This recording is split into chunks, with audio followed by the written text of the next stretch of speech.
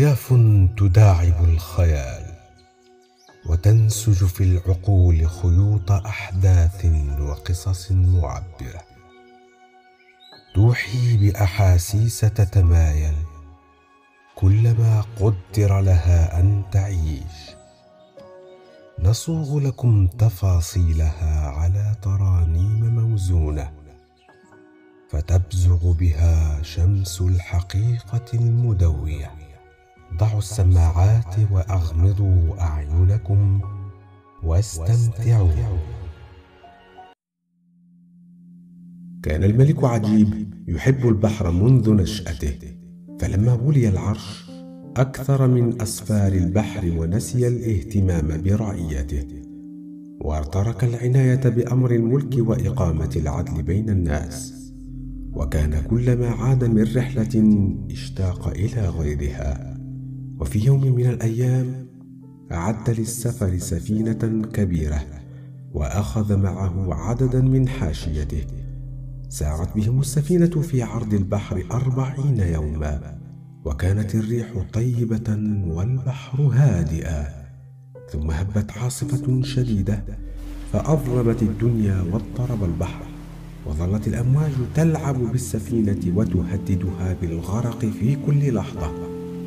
ومرت بهم عشرة أيام وهم في أشد القلق لهياج البحر.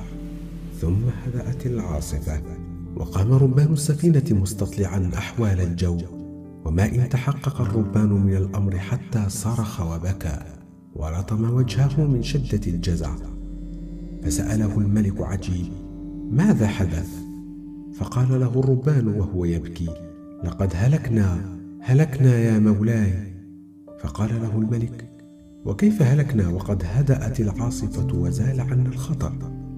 فأجاب الربان انظر إلى هذا السواد الذي يلوح لنا من بعيد.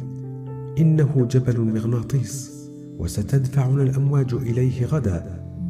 وسيجب المغناطيس كل ما في مركبنا من المسامير فتتفكأ ألواحه ونغرق جميعا في قاع البحر. سأله الملك أليس بقدرتك أن تبعد بنا عن هذا الجبل؟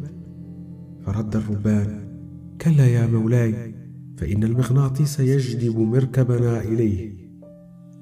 ولم تنج سفينة واحدة وصلت إلى هذا المكان. واعلم أن هذا الجبل قبة عالية وفوقها فارس على فرس من نحاس وفي صدره لوح من الرصاص.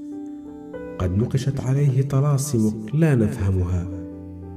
ولا سبيل إلى خلاص السفن من الهلاك إلا إذا وقع ذلك الفارس في البحر.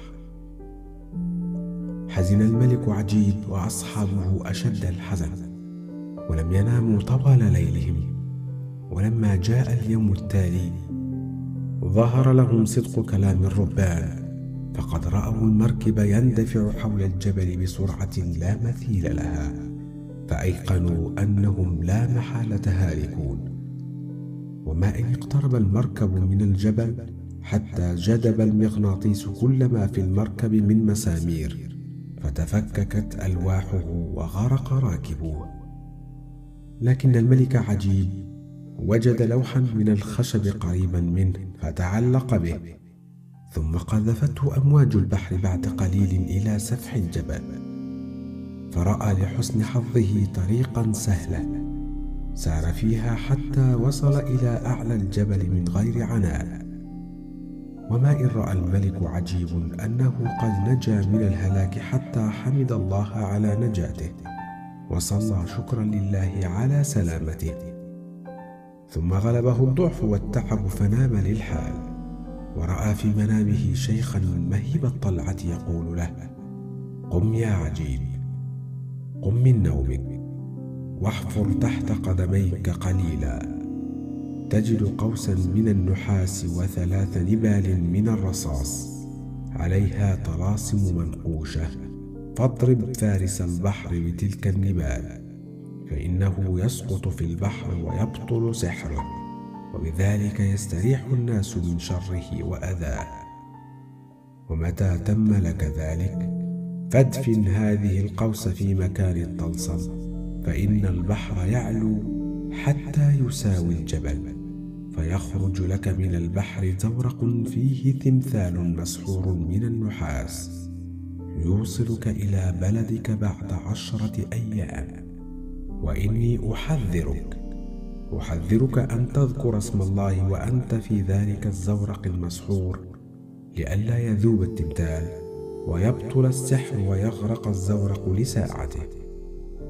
استيقظ الملك من نومه وهو فرحان بهذا الحلم الذي فتح له باب الأمل في العودة إلى بلده. وبحث تحت قدميه فرأى القوس والسهام الثلاثة. فضرب بها طلسم الجبل فهوى الفارس والفرس في البحر. فدفن القوس في موضع الطلسم كما قيل له. فارتفع الماء حتى ساوى الجبل وخرج له زورق من البحر فيه تمثال من النحاس. ركب الملك الزورق من غير أن يتفوه بكلمة واحدة. فحرك التمثال مجدافيه فسار الزورق بهما وما زال مسرعا في سيره حتى اقترب من البر. ففرح الملك عجيب بذلك فرحا شديدا وأنساه فرحه بقرب العودة نصيحة الشيخ. فحمد الله على سلامته. وما كاد يذكر اسم الله حتى اختفى الزورق والتمثال معا وغاصا في قرار البحر وبعد عنه الشاطئ. فسبح الملك عجيب طوال اليوم في البحر حتى ضعفت قوته وأيقن الهلاك العاجل. فأسلم أمره لله ودعا أن يخلصه مما هو فيه من كرب. فاستجاب الله دعاءه وقذفته الأمواج إلى شاطئ جزيرة كبيرة. فحمد الله على نجاته من الغرق وصلى له صلاة الشكر.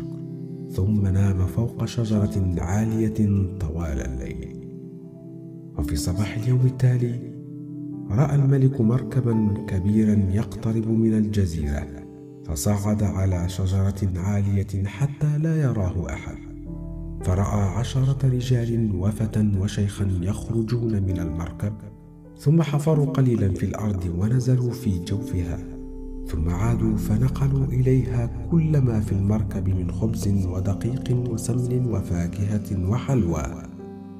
ورجعوا إلى المركب ولم يعد معهم الفتى. وصار المركب بهم من حيث أتوا والملك يعجب من أمرهم أشد العجب.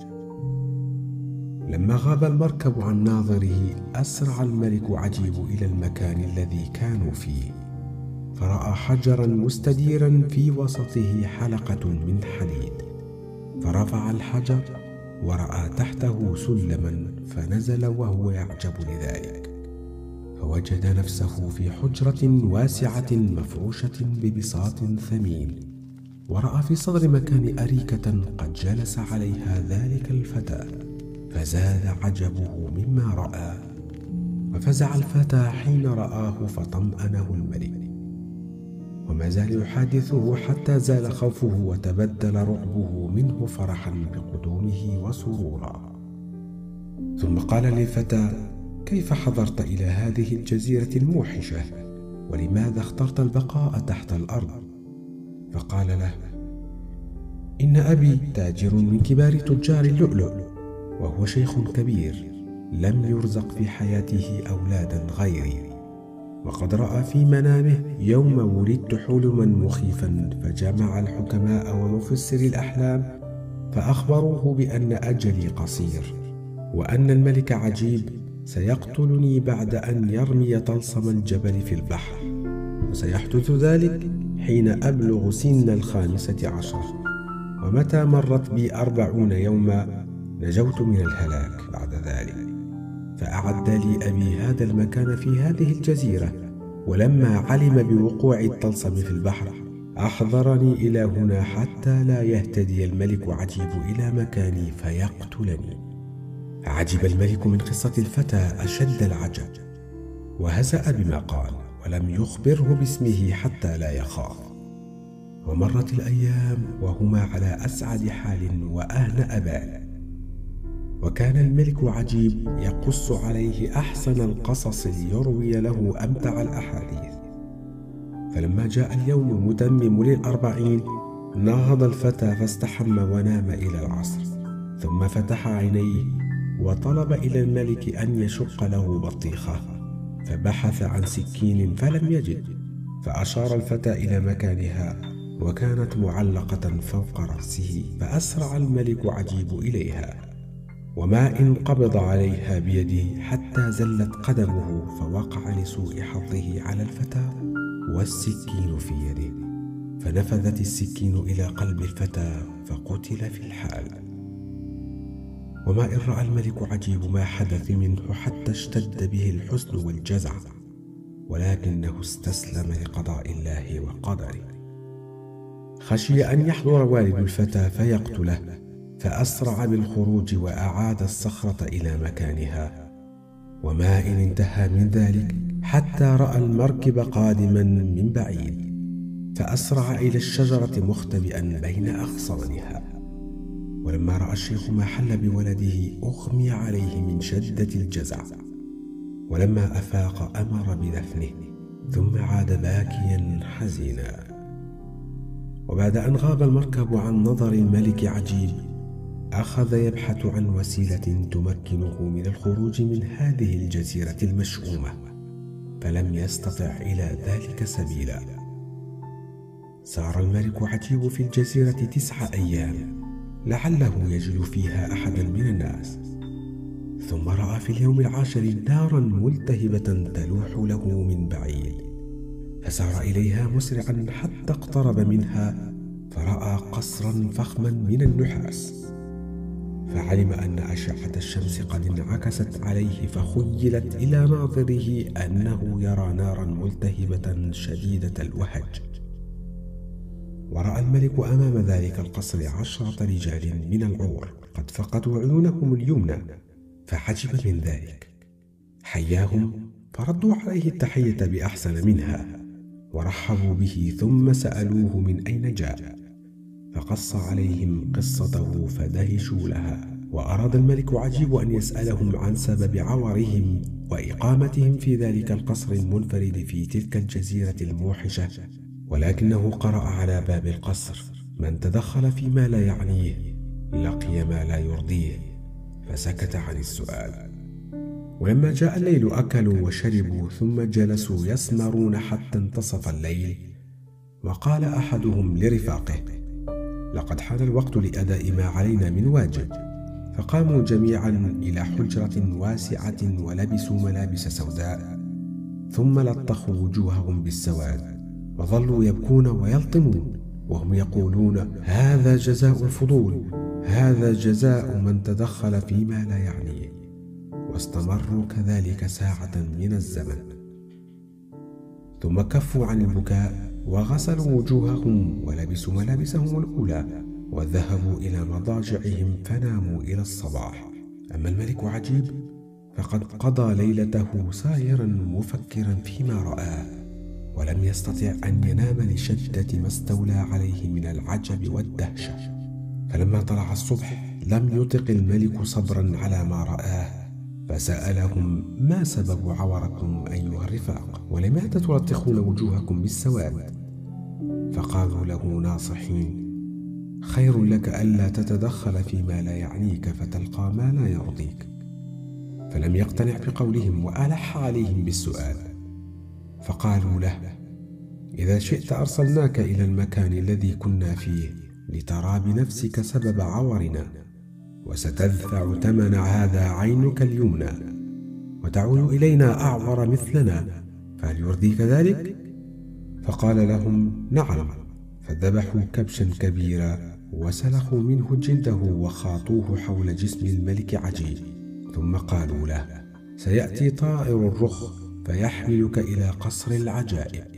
فإذا وصلت إلى ذلك القصر فانهض على قدميك واسلخ جلد الخروف فإن الرخ يخاف ويهرب منك. وبعد قليل من الزمن جاء طير الرخ فحسبه كبشا فحمله إلى قصر العجائب. فلما نهض الملك عجيب ومزق جلد الكبش هرب منه طير الرخ. ثم وقف الملك عجيب أمام قصر العجائب فرأى حجارته من الذهب وأبوابه مرصعة بالماس. دخل الملك القصر فرأى فيه أربعين جارية. لابسات أفخر الثياب التي لا توجد في قصور الملوك فرحبن به وحيينه فرحات بقدومه واكرمنه أحسن اكرام ثم قلن له نحن خادماتك وأنت سيد القصر وسنظل في خدمتك شهرا كاملا ثم نتركك أربعين يوما ونعود إلى خدمتك بعد ذلك فلا نفارقك أبدا. ويصبح هذا القصر وما يحويه من كنوز ملكا لك ولما انقضى الشهر ودعنه وأظهرن له الأسف على فراقه وأعطيناه أربعين مفتاحا وقلن له ادخل ما شئت من هذه الحجرات ولكن احذر أن تدخل هذه الحجرة الأخيرة وإلا عرضت نفسك لما تكره. فتح الملك الحجرة الأولى فرأى حديقة جميلة لم ير في حياته مثلها فقضى يومه بين أزهارها العطرة مبتهجا مسرورا. وفي اليوم الثاني فتح الحجرة الثانية فرأى من الطيور مغردة أشكالا وألوانا لم يرها من قبل. وقضى يومه مسرورا بغنائها الساحر. ورأى في الثالثة كنوزا مملوءة بالذهب وفي الرابعة أكداسا من اللآلئ. وفي الخامسة ما لا يحصى من المرجان والياقوت وهكذا حتى جاء اليوم المتمم للأربعين ولم يبق إلا الحجرة الأخيرة التي حذرته الجواري من دخولها. وقف الملك مترددا نحو ساعة. ثم دفعه فضوله إلى دخول هذه الحجرة. فلم يكتف بكل ما رأى في ذلك القصر من العجائب والكنوز النادرة. ونسي نصيحة الجواري ونصيحة العور. وما إن دخل الحجرة حتى وجد حصانا جميل الشكل معدا للركوب فدفعه الفضول إلى ركوبه. وما إن ركبه حتى طار به الحصان في الفضاء وكان هذا الحصان جنيا. وما زال طائرا به مدة من الزمن ثم هبط به إلى الأرض وألقاه على ظهره وضربه بذيله في عينه اليمنى فعورها. ولما أفاق الملك عجيب من ذهوله وجد نفسه في قصر الجزيرة بين رفاقه العور فآسوه ورحبوا به وقالوا له لقد دفعك الفضول إلى مثل ما دفعنا إليه ولقيت من الجزاء مثل ما لقينا وهذه عاقبة كل من تدخل فيما لا يعنيه. بقي الملك عجيب عدة أيام وهو في ضيافة العوران العشرة حتى أتاح الله له فرصة الذهاب إلى بلده. في سفينة مرت على تلك الجزيرة فودع رفاقه العور ولما وصل الملك إلى بلده استقبله وزيره وأهله وشعبه أحسن استقبال وفرحوا برجوعه إلى مملكته أكبر الفرح.